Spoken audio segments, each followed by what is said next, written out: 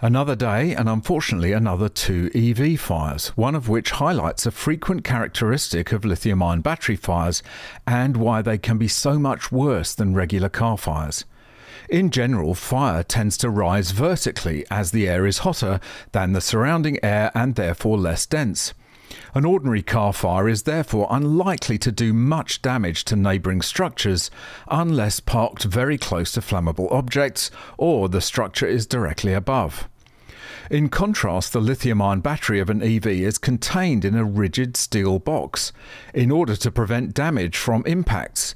But if one of the cells fails, heats up, and starts to release gases, that container will initially prevent those gases escaping and the pressure will rise. Eventually, as more cells join the thermal runaway party, the gas will eventually find a way out of the battery container somehow. But at that point, it will be under such high pressure that it will escape as a very high velocity jet that can travel several meters away from the car. If that jet then catches fire, it becomes a flamethrower which will set fire to anything and some distance away. Still want to charge your EV in your driveway? Think again. Welcome back to M Guy, British engineer and lawyer, now Sydney based YouTuber. Please make sure you've clicked that subscribe button down below and enabled all notifications so you don't miss out on any future videos. And if you'd like to support this channel, why not buy me a coffee? Click the link in the description or scan the QR code on screen. We've got stories from Wales and Canada in this video, and we'll come on to the factory fire in a minute. But first, an EV has spontaneously caught fire in a shopping centre car park in British Columbia causing all the usual problems for the firefighters. Electric vehicle explosion causes significant traffic delays in Abbotsford. Main entrance to Costco parking was closed as Abbotsford Fire Rescue Service dealt with blaze. An electric vehicle that exploded and caught fire in Abbotsford caused significant traffic delays in a popular shopping area on Saturday, according to the Abbotsford Police Department. The incident happened in or near the parking lot of Costco on Sumas Way, where Abbotsford Fire Rescue Service was called to the blaze on May the 31st. The main entrance to the Costco parking lot is currently closed, as Abbotsford Fire Rescue Service AFRS deals with a vehicle fire, Abbey PD stated on social media at 3:17 p.m.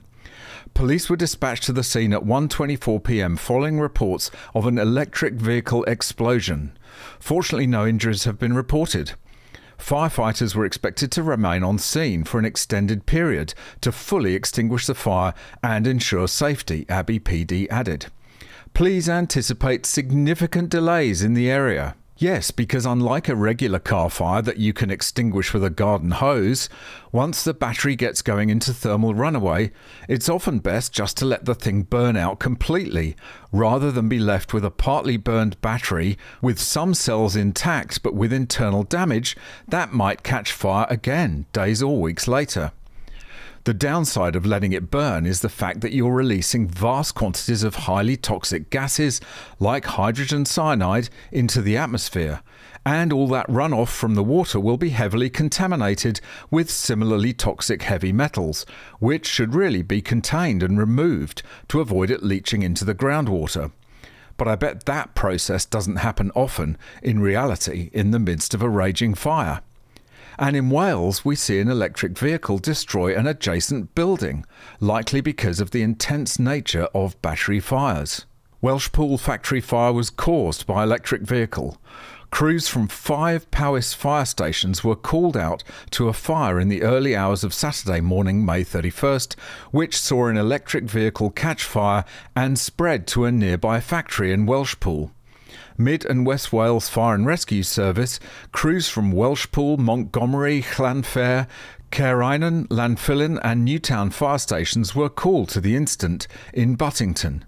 MWWFRS said the Powys crews were assisted by Shropshire Fire and Rescue Service.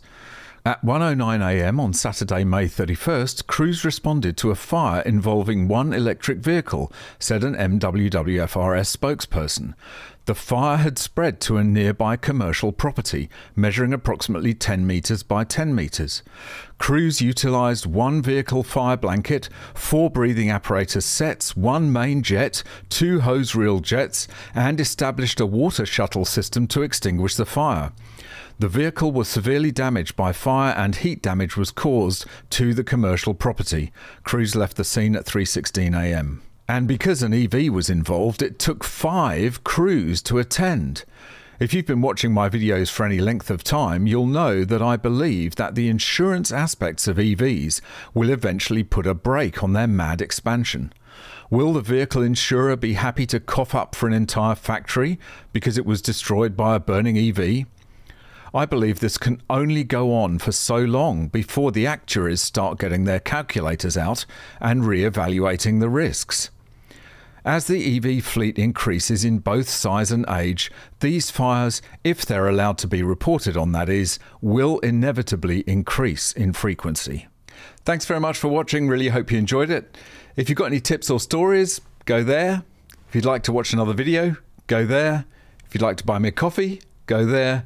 And please subscribe to the channel.